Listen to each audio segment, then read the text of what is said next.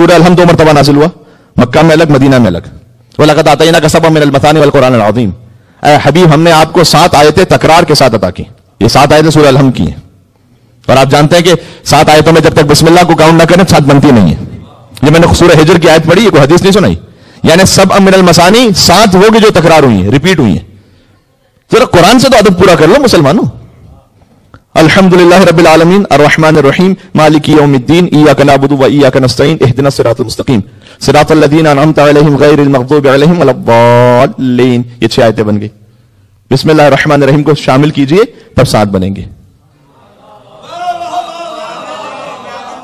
بہت سادہ کی سامنے کی بات ہے تو یہ جو آپ کہہ رہے ہیں اللہ اکبر اللہ اکبر کہہ کے آپ نے نماز شروع کی اور نماز شروع کر کے اللہ اکبر کچھ دیر کی خاموشی؟ الحمد للہ رب العالمین۔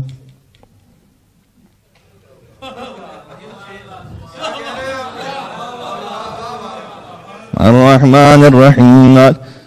رب تعالی القرآن والقرآن یلعنو۔ اسی لیے حضور نے کہا تھا کتنے قرآن پڑھنے والے ایسے ہیں وہ جھوم جھوم کے قرآن پڑھتے ہیں قرآن انہیں پہ لعنت کر رہا ہوتا ہے۔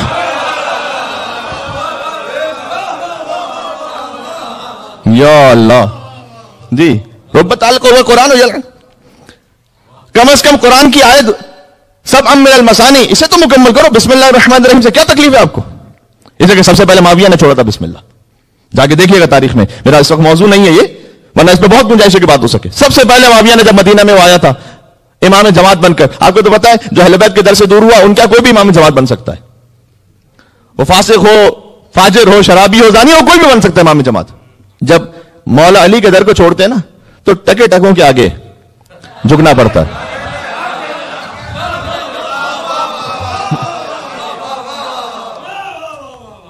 آج سلوات کی عبادت بار بار ہونی چاہیے آپ کی۔ اللہ صلی اللہ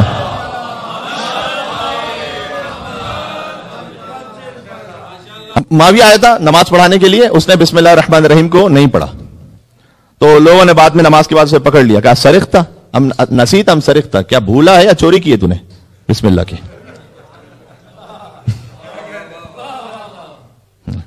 چور کی اولادیں تو یہی کام کرتی ہیں۔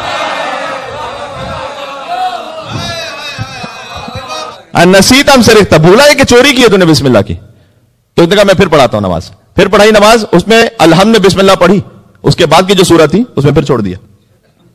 پھر پکڑا اسے۔ کیونکہ اس وقت کم از کم صحابہ کرام موجود تھے نا، وہ پھر پکڑ لیا اسے۔ کہا رسول اللہ پڑھتے تھے، تو نے کیوں نہیں پڑھی؟ لیکن اس کے دل اتنا سمجھ میں آ گیا کہ بسم اللہ سے کوئی بغض ہے۔ معاویہ کو۔ ہائے ہائے ہائے ہائے۔ مجھے نہیں پتا رسول اللہ نے پھر کیوں قرار دیا تھا علی کو نقطہ با بسم اللہ۔ کوئی نہ کوئی تو مسئلہ تھی نا۔ تو